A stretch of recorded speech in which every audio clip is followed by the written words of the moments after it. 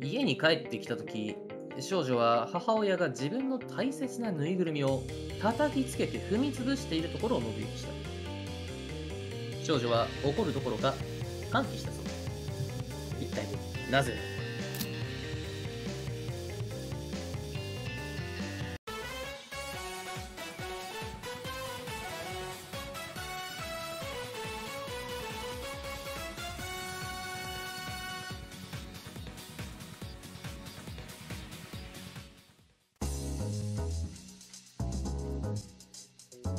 これから名探偵たちに謎を解いてもらいます。皆さんとっても素敵ですね。ルールはシンプルです。まず問題が出されます。探偵たちは問題を解くために質問をすることができます。ただし質問は1人1回です。全員の質問が終わると回答タイムです。回答も1人1回です。正解者がいなければもう一度だけ質問ができます。やはり質問は1人1回です。全員の質問が終わると2回目の回答タイムです。これでも正解者がいなければ思いついた方から回答をします。質問回答質問回答。これだけ覚えていれば大丈夫です。それでは前置きが長くなりましたが本編スタートです。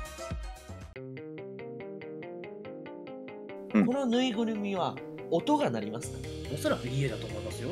ぬいぐるみは呪われてますか？いいえ。父親は生きてますか？いや言及はないんですけど生きてるそうですか。と思いますね。はい。ありがとう。お見あのそのぬいぐるみはじゃあ小さいですか？いいえ。事ぬいぐるみに虫湧いてましたか？いいえ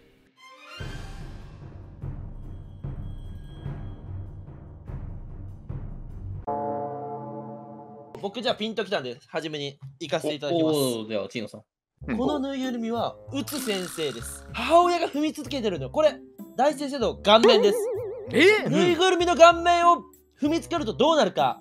あ小顔になります。少女は小顔の美しい大先生の顔を見た瞬間に歓喜しました。これです。あていうか俺のぬいぐるみ買った時点で俺の顔が大きいことは受け入れろよえ確かにちなみにチーノさんもちろん違います。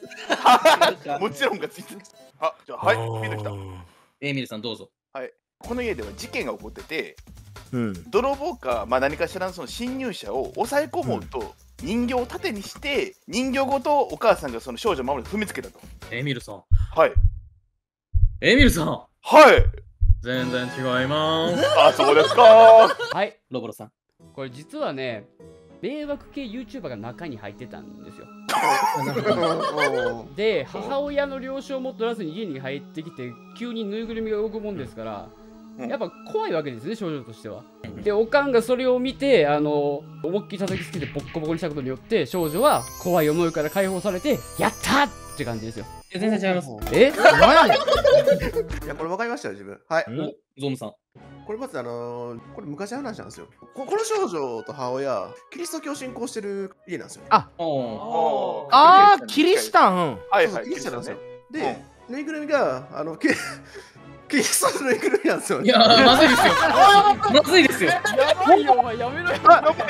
お前で、でそれで、なんかその役人が来た時に、こいつが隠れキリシタンじゃないなって帰っていって。じゃあちょっと僕行かしてもらっていいですか？はい。あの結果を聞かせて。あ違います。あ、違いますよ、大丈夫です。ああえじゃあ僕行かしてもらっていいですか？はい。お願いします。あのこの少女ってねねちゃんなんですよ。違います。なんでやねん。あー、感じ悪い。いや感じ悪い答え見せろ。早い見せろ。あどういう状況かのね想像がすごい大事になってくるかなと思います。あすいません。うつ先生もう一個ヒンコいいですか？ヒンコ？ヒンコ？現在のこの状況？あの一般的に見られるものですか？これはいいえですね。この状況は命の危険が迫ってる状況ですか？それははいですね。え？ぬいぐるみの中に何か入ってますか？いいえです。このぬいぐるみは飾ることが用途のぬいぐるみですか？はい。あー。ちょっと分かってきたぞ。はい。ロボロさん。この少女の家。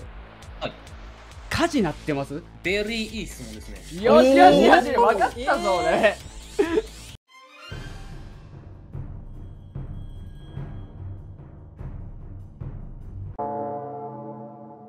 これでもロボロいけるんちゃう？ロボロいける、ん、いけそうやな、ロボロが。ちゃうから、むしろ周りの面白い回答が見たいよね。おっと。あ、そういう？そそんな固まらんでもええやん。ロボさんに力を与えます。でロボさんが指名する一人だけにね、回答させることができます。何やって？じゃあエミさんくそ えー、じゃあ行きます。お？ここの家の今日のその日の夕食はね、天ぷらだったんです。ところが、天ぷら鍋から火が上がった。そこで、クソデカぬいぐるみをですね、お？投げつけ、お？うんその上圧迫し、無事、ぼや、ぼや未満に済ました。うん、これでどうですか？ちなみに俺の実家の天ぷらはまずいよ、うん。じゃあはい、ロボさん。まあ、結局火は止まらなかったわけですな。でおお母さん取り残されてるとそんな時大切にしてた大きいぬいぐるみ。これを下に投げつけて叩きつけてですねお母さん上からクおうおう。ッション代わりにして落ちたわけですね。そおしたらおお母さん無事助かったと。歓喜ですよ少女は。なるほど。おおおおこれはすごい。もロボさん。はい正解です。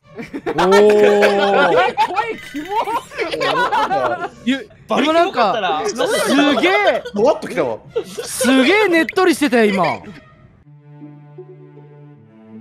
女が自宅の2階にいるとき、1階で火事が起こった。